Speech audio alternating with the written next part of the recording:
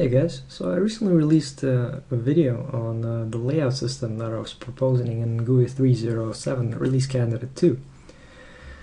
Well, now it's uh, final version 1 and uh, the system has changed slightly since then. Here's a quick overview of the changes. Just like before, you can specify an anchor and when you specify something other than none, it'll automatically select the parent and fill in the values for you. So now if you actually resize the parent, the child will keep its border size. If you don't like this behavior, you can actually change uh, the target to be something else. For example, if I was to anchor everything to the center, and then resize the child, or the parent rather, the child's dimensions will stay fixed size and the child will be in the center. I can also resize the child myself. Even it's anchored, I can change it. So now if I wanted this uh, child to take only, say, uh, the bottom part of the sprite, I would do something like this, and then just specify top anchor to be center, while other anchors are left, right, and bottom.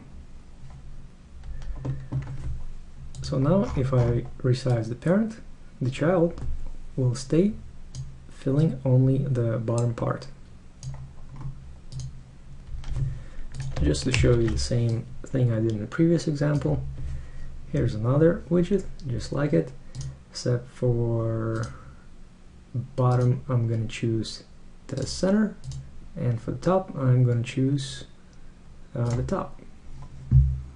Now when I resize parent, the two children will stay proportional. If I want more control, I can either uh, choose custom right here, or I can uh, choose the set current position, which essentially does uh, the same thing that uh, choosing the relative did before. For example, if I was to choose set current position on all of them, you'll notice that it simply switches to custom mode where you can specify the relative value as well as the absolute offset and you can actually play with the sliders instead of uh, adjusting the numerical values if you like.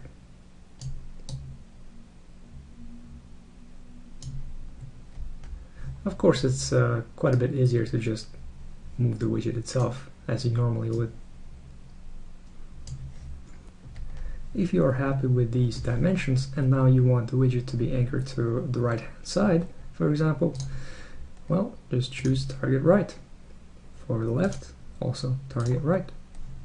There you go. All these choices are doing for you is just setting up the values, the relative and absolute values, for your convenience. The system underneath doesn't change. It still goes through the same exact code path.